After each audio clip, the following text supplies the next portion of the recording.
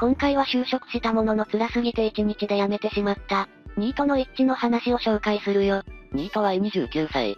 就職したけど辛いから1日で辞めた。脱ニートするように親に説得されて仕事しようと思ったけど1日で辞めてきたんご。おかえり一致。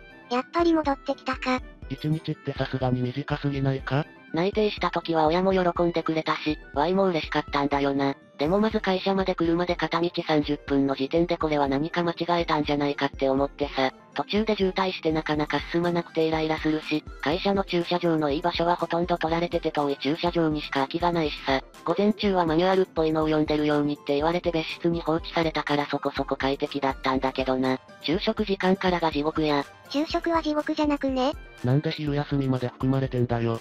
通勤時間は内定前から分かってることだし駐車場くらいで文句を言うな。ニートの発想だな。昼食は外に行く奴らと中で弁当を食べてる奴らがいるんだけどさ、中で食べてる奴も外に行く奴も陽気ばっかりで、みんなでワイワイしててストレスが溜まるんだよ。いっそ全員が外に行ってくれればワイだけ中でぼーっと過ごせるのにそれもさせてくれないしな。そんなことで辛いって言ってたらお前、どこでも働けないぞ。不登校の高校生じゃあるまいし。午後からは上司がついて、あれこれ仕事を習ったりしてたんだけど、全然話はわからないし、業務量は多いし、上司との会話も苦痛だしでもうずっと帰りたかったんを、辛すぎてずっと家に帰ってから何をしようかって考えながら時計の針ばっかり見て過ごしたんだよ。ブランクありなのを分かって雇ってるはずなのにいきなりたくさん作業振っても無理に決まってるし。そりゃ会社はボランティアじゃないからな。一致がやれるやれない関係なくある程度の仕事は振るだろう。やっぱりニートは精神が幼稚だな。それでブラックとか言わないよな。別にブラックだとは思ってないよ。でもなんていうかさ、いきなり色々とハードルが高いと無理だろ。今までニートだったんだし、一歩一歩って感じじゃないとさ。学校じゃないんだし、給料をもらって会社に勤める以上、そんな優しい対応を求めるのは無理だろ。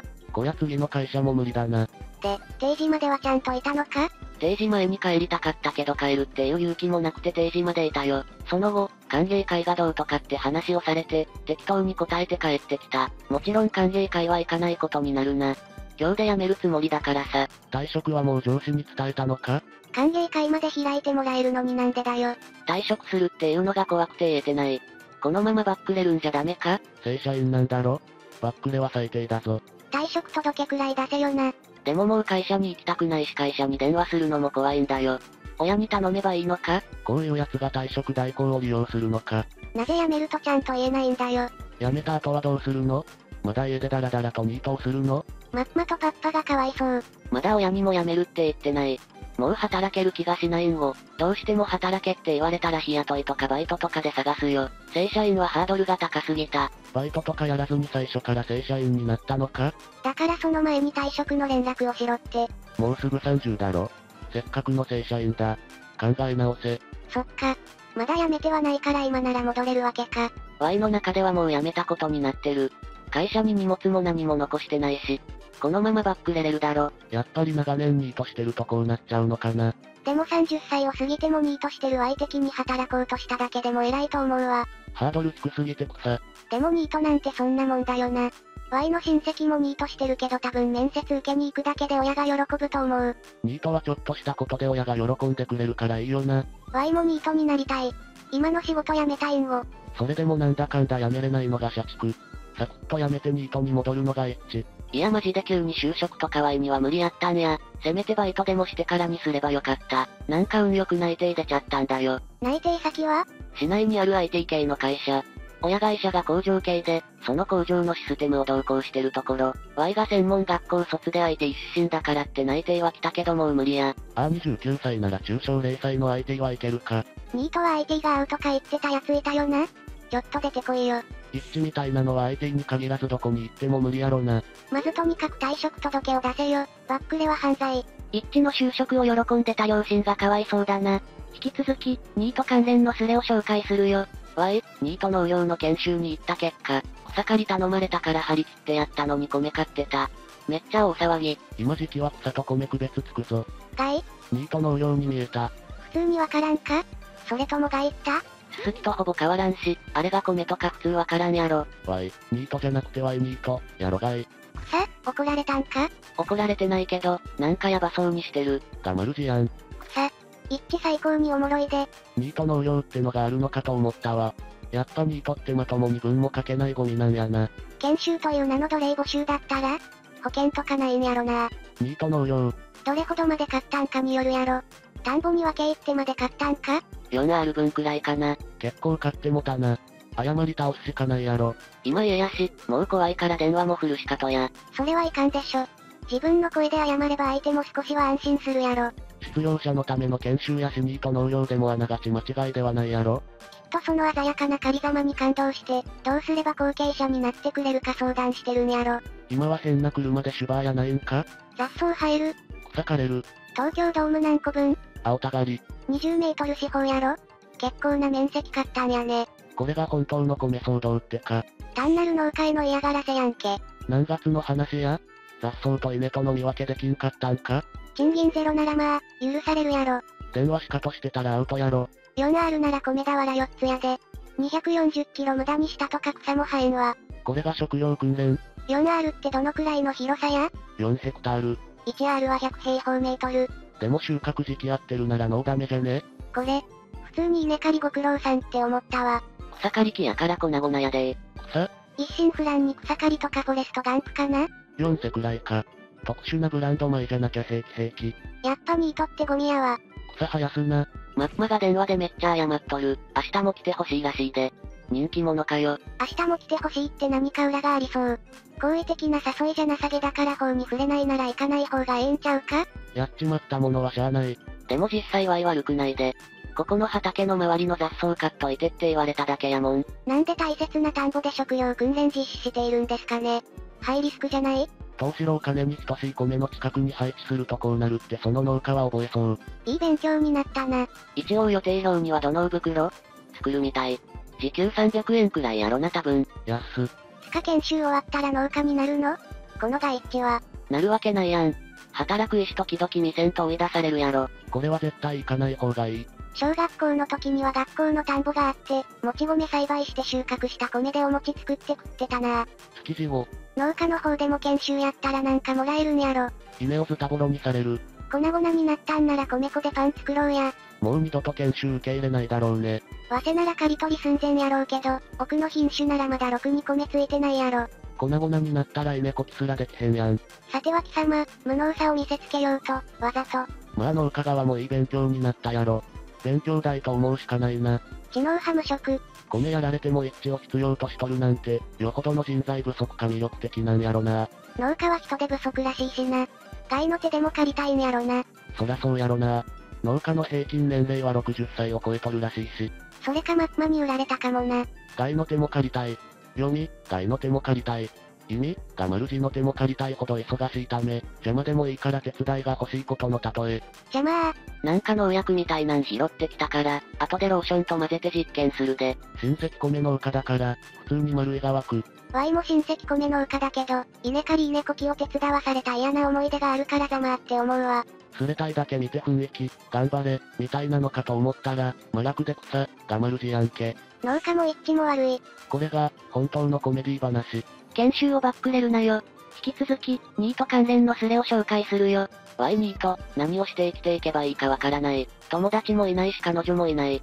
たった一人で何をして生きればええんやろうか。それがニートや、耳が痛いんごねー。仕事をすれば何もかも始まるぞ。アンパンマンでさえ何のために生きるのかわからないのに、一般人のワイらに何して生きてけばいいのかわかるわけないやろ。せやね。でも知りたいんや。ゲームでもやってろ。飽きたわ。なんで働かないの？何かお医者さんが診断書出すレベルで働けない理由でもあるの？自立支援センターに通ってるんよ。働くのは時間の問題なんや。でも一致は音声でコミュニケーションしてるやん。あんませえへんて。何をしてって、ご飯食べてクソして寝るんや。働けハゲ。働けば知り合いも増えて友達や彼女ができるチャンスが生まれるぞ。ニートだと何も変化がないし時間が過ぎていくだけ。でもワイ働けるんかな他の音声民みたいに女叩きや小丸車叩きでも始めたらどうや？どれだけゴミクズみたいな人生歩んでても、一致が男で健常者であることに変わりはないからな。無条件にマウント取れる希少な存在や。さらに落ちるんか糖質ですわ、あはは。働いても誰にも話しかけられないし、話しかけても適当に流されて終わりやぞ。ワイの場合これやろうな。就労支援事業所にでも通ってるんか子供若者自立支援センターってところや。ゲームの話したり性格診断するところやで。ハロワとは違うんか。知らん。けど働くようにはしてくれるらしいで。じゃあ、家の前の掃除を始めるんや。今すぐ。外の空気浴びる気分じゃないんを。Y には関係ないからなんとも言えんが、後悔だけの人生は辛そう。逃げてきた代償やな。何歳？あと1ヶ月で22歳や。年取ったな職歴あるんか？本質的には生きることに意味なんてないぞ。いつかは丸主。子孫残したり何かをなせば血筋や功績は残っていくだろうけど、よほどの功績じゃなきゃ数十年もすれば忘れ去られる。血筋だって何世代も先になれば墓に名前があるだけになるし、その血筋だってどこで耐えるかわからんし。第一残ったとしてそれが何になるのか。丸んでしまったらもう後のことなんてわからないんだから残ろうが残らないが同じことだよな。そう考えれば丸んだら全てが終わるのに、何をしたって本質的には無意味だよ。ワイマルンでもまた同じ人生が繰り返されるだけ説信じてるから。一致スペック。身長体重年齢は？172から174センチ、53キロ、21歳、や。若いやん。でも20歳くらいで人生の半分終わったって言うし。体感時間で言うたらそうらしいな。しかも長生きしたくないわ。老けたら即丸にたいそうなればそれはそれで幸せだぞ。何すればいいとか考えなくていいからな。ブラック企業なんか？ブラック企業はもともと病んでいる人じゃないと続けられないというけど、ブラックかと言われると微妙だけど、小さなベンチャーだから勤怠なんてやってないようなもん。なぜニートなのにその説を信じられるんや？どうせまた同じ地獄を味わうだけなんやなって思ってて。なんとなくわかる気がする。だから早く変わりたいんや。親が金持ちなら別にニートでもよくねえ？マッマが仕事増やしたって言ってたわ。普段一切顔すら見ないけど、般若心経が言うように神羅万象空っぽだぞ。惑わされるな。極端な話、別にニートであることに何の問題もない。変わりたいと思うなら変わればいい。変わらなきゃいけないということはないんだよ。気楽に生きた結果これなんやけどね。娯楽に飽きてもう全てが終わったわ。娯楽に飽きたんじゃなくて余裕がなくなって楽しめなくなったんだろ？まともにならなきゃ。ニートじゃダメだ。そう感じて遊ぶどころじゃなくなったわけだ。でもまともって何？まともに生きて、丸布か？まともに生きるだけじゃ実は得られないよ。ニートがネットで友達作っても、楽しいのって最初だけやしな。学歴コンプや青春の不足を埋めることは一生できない。ワイもチャットで友達作ってたんごね懐かしい。仕事しろ。ワイほぼ仕事以外してないし。何のために生まれて何をして喜ぶ。中学の頃の片思いの子のために生きてるわ。何をして喜んではないけど、仕事したら仕事してる時は充実感得られるんやない？いずれそれも惰性に変わるんやろうなって思う。今よりマシやろ。せやねんけど、いずれ今と同じになるって思って、学生ニートとかじゃなくガチニートなん？ガチやで。何もしてない。はい。ガチでクズやな。はよ丸んだ方がええで。人間の欲って再現ないから、刺激に慣れて惰性化していくのは仕方ないんやで。せやったらもう生きるの嫌やわ。丸布はもっと嫌やけど、やっぱり地獄やね、この世は。この地獄が延々ループされると思うとね、気がつかないのは幸せなんかな。衣食住もあってネットまでできる環境で、不幸によってて草。衣はセンスが中学止まりの服しかない。食は基本一食とパンでしのいでる。炭はまあまあ、今時精神病院でも衣食住とネット環境あるやろが。あるんか？糖質軽度やけど入院してみたいわ。いいから働けよハゲ。なおこいつも働いていない模様。入院してみたいとかダメな方向に行きたいのに何をして生きていけばと言ってる矛盾。逃げてきた結果やろ。もう自分でも何がしたいのかわからんわ。収入はどうしてるんや？絶縁中のパッパからやで。小遣いだけもらってる。本当に中学生みたいな生活してるんやな。ワイニートだけどちょっとわかる。ワイも精神が中学生で止まってる。なんだか虚しそうな生活やな。引き続き、ニート関連のスレを紹介するよ。Y 高齢クソニート、もう取り返しがつかず同国する。傷の舐め合いをしたい。毎日毎日アホらしくなってきた。何歳？24歳。は？高齢無職の誕生やな。老害やん。50歳過ぎてから出直せや。は？お前何歳だよ？クソじじいかな？独身なら余裕。ワイその1.5倍。大卒？大卒や。たかが2年ってしょぼすぎやろ。友達はみんな働いてるんだが、考えるだけでも胃が痛くなる。36歳の Y が株ニートしてるやから平気平気。年収なんぼなん？稼いでるだけ立派やん。去年仮想通貨で資産8000万から3000万に落ちた。所得税で丸にそうやな。まあ頑張るんやで。おうよ、10年後は資産3億や。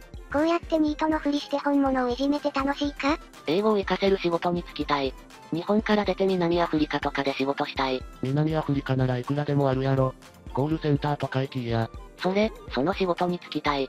前南 J で南アフリカで働いてるやついてえなって思ったんや。なんで新卒という最大の武器を捨てるのか？これ以上お父さんお母さんを心配させるな。迷惑かけるな。地に足がついた、まっとうな人間になろうとなぜ努力しない？こんなクソすれで傷の舐め合いしてる暇などないはずだ。まずやるべきことの優先順位をしっかり見定めなさい。これ以上家族を悲しませるな。努力はしてるから。夕飯で家族と食卓囲んだ時に親の顔見たことある？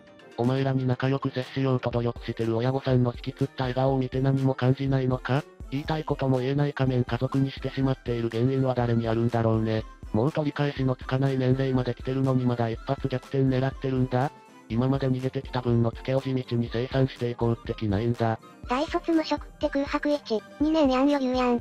説教に来、シュバシュバってきて笑った。まだ余裕やんって言ってほしそう。ニートに徴兵制度も受ければよいのに。甘えた根性叩き直せるし、ワンチャンお国のために丸なせれるから親の顔も立つ。日本って新卒逃したら終わりやろ。ほんまそれ日本の制度や慣習っておかしいわ。まるで日本以外だと2年間ニートでも楽々就職できるみたいやな。